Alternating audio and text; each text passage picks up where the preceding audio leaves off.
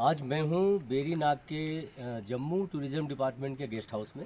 आप देख सकते हैं, बहुत ही अच्छा बनाया हुआ है, बहुत ही अच्छा पूरा खुला स्पेस है, पीछे पूरा देवदार का जंगल है और लोकेशन इतनी अच्छी है कि इधर आप देखते हैं, ये मुगल गार्डन है बेरी नाग का। जो यहीं से विजिबल है। और अगर हम यहाँ से आकर देखते हैं इसे सामने ही वाटर बॉडीज़ दिख रही हैं। यहाँ राइट साइड में देखेंगे तो स्प्रिंग है। यहीं से ये झरना बहते हुए और पूरे इसको बाग को पार करता है। ये मुगल गार्डन है। और इसी को झेलम नदी का उद्गम भी कहा जाता है। इसी में और नदियाँ छोटी छोटी मिलती रहेंगी। और ये बड़ा नदी का रूप ले लेगा। तो अब मैं बताता हूँ यहाँ पर अ, कितना अफसोस हुआ मुझे अगर आप गूगल पे सर्च करेंगे तो इस लोकेशन को गूगल नहीं दिखा रहा है। तो ये सरकारी प्रतिष्ठानों में अक्सर देखने को मिलता है, बहुत बड़ी लापरवाही है कि इतनी अच्छी जगह, इतनी अच्छी रुकने की सुविधा, बहुत अच्छा स्ट्रक्चर और वो लोगों की नज़र में नहीं आ रहा है।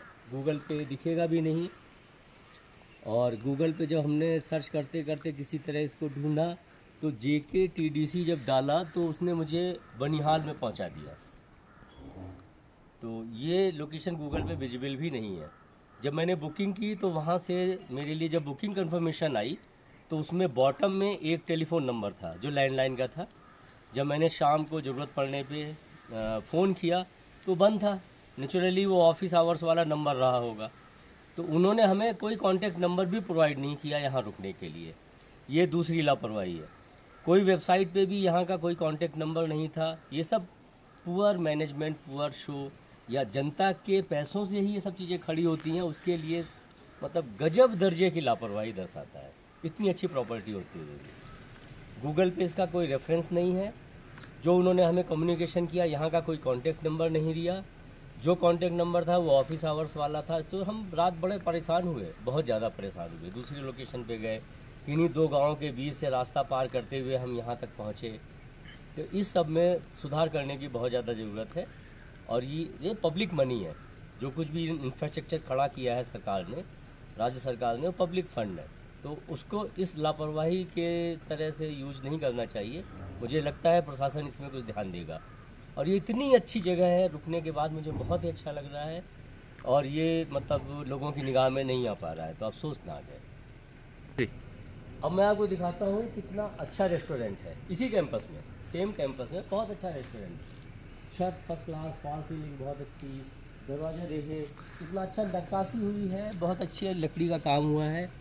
और ये भी बंद पड़ा हुआ है क्योंकि यहाँ कुक नहीं है। इसको चलाने वाला कोई नहीं है। तो इतने अच्छे इंफ्रास्ट्रक्चर को बिल्कुल भी यूज़ नहीं किया जा रहा है। और सबसे बड़ी दिक्कत ये है कि मेरे यहाँ रुकने के बाद केयर टेकर ने मुझे तौलिया तौलिया भी नहीं दिया मुझे कोई टॉयलेटरीज नहीं दी। और अभी तक कोई अटेंड करने भी नहीं आया है लगभग आठ बज गए हैं। और चाय जैसी कोई चीज़ तो यहाँ है ही नहीं बेसिक इम्यूनिटीज ज़ीरो है।